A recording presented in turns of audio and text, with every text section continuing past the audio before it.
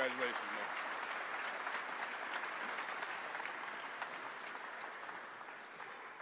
Thank you.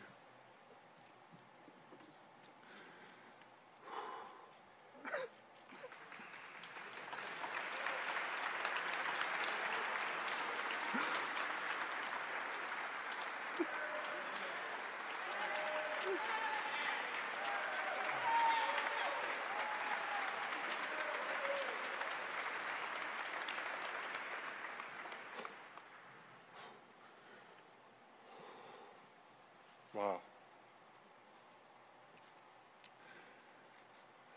It's tears of joy.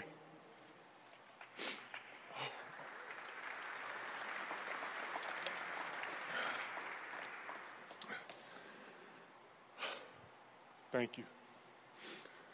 Thank you, everyone.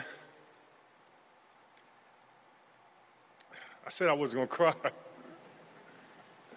Guess that never happens when you're excited about something that's so special to you, that means so much.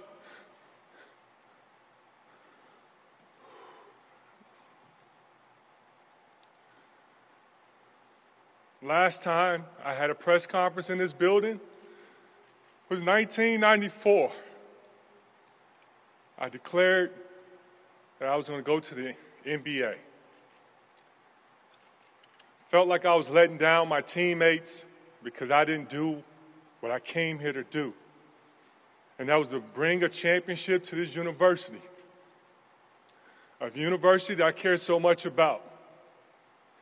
I guess you can see that now, huh?